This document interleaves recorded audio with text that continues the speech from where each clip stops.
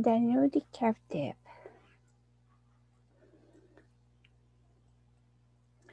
Daniel and his three friends lived in Israel.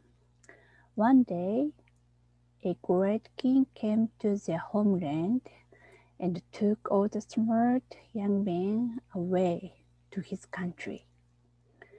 The king had a huge, long name, Nebuchadnezzar, and he lived in a faraway country called Babylon.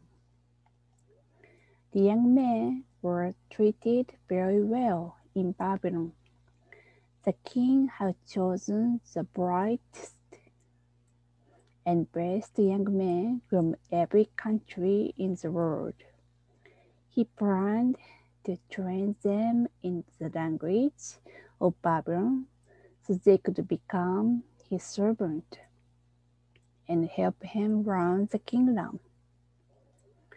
The food was good too. The young man ate what the king ate. But Daniel and his friends did not want to eat the food because it had been devoted to false gods. Daniel had promised he would never do anything against his God. The God of Israel had commanded his people to have nothing to do with idols or false gods. Daniel asked the person in charge of his training for permission not to eat the king's food. If the king found out, would be very angry. But God had made Daniel a favorite with this man. He agreed to give Daniel and his friends a test. For 10 days, they would eat only vegetables and drink only water. At the end of 10 days, Daniel and his friends looked much healthier than all the other young men who ate the king's food. So they were allowed to continue with vegetables and water. These young men honored God, and God honored them. God gave them knowledge and skill in the things they learned. And Daniel had wisdom to understand all visions and dreams. After three years of school in Babylon, all the young men were presented to King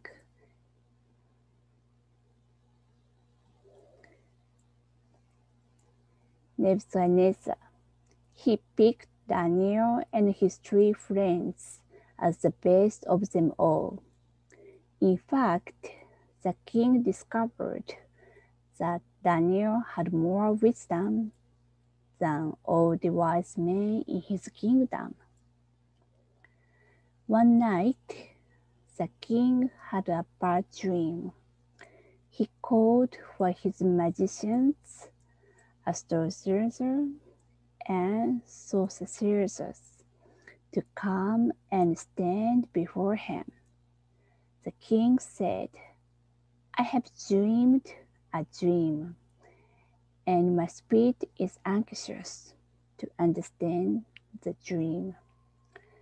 The wise man answered, O king, live forever. Tell your servant the dream, and we will tell you what it means. The king responded, No, you must tell me what I dreamed and what it means. If you don't, you will be cut in pieces and your houses burned. But if you tell me the dream and what it means, the king continued, you will receive gifts and rewards and great honor. Of course, none of the wise men could tell the king his dream. The king's wise men told the king, There is not a man on the earth that can do what you ask. Only the gods can do that, and they don't live on earth. The king got very angry. Destroy all the wise men of Babylon, he commanded. When the soldiers came for Daniel, he said to Arioch, the king's captain, Why is the king destroying all the wise men? Then Arioch told Daniel everything that had happened. Daniel went to see the king. He asked for more time so he could tell the king the meaning of his dream. Then Daniel went to his house and told everything to his friends, Shadrach, Meshach, and Abednego. Daniel didn't know what the dream was or what it meant, but he knew somebody who knows everything. The somebody is God. So Daniel and his friends prayed. God showed Daniel the dream and its meaning. Daniel praised the God of heaven, saying, Blessed be the name of God forever and ever, for wisdom and might ate his. For wisdom and might are his. Daniel hurried to the king and said to him, There is a God in heaven who divulges secrets. He told the king what he had dreamed and what the dream meant. When King Nebuchadnezzar heard the dream and its meaning, he fell down before Daniel and said, Truly, your God is a God of gods and a Lord of kings and a deliverer of secrets. Since you could divulge these secrets, then the king made Daniel a great man and gave him many great gifts.